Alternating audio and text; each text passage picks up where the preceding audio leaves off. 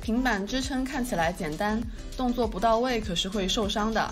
正确的做法是手肘放在肩膀正下方，双脚着地，收紧腹部，让躯干尽量成一条直线。常见错误是过度抬头或者过度低头。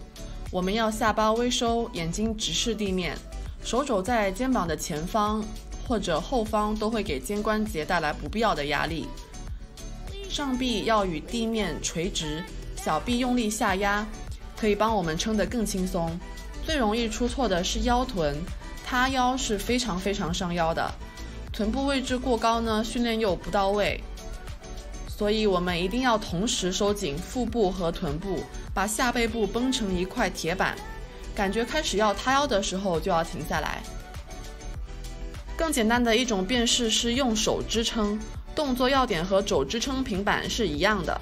我还喜欢做侧平板，它能很好的同时锻炼到我们的腰腹和臀腿。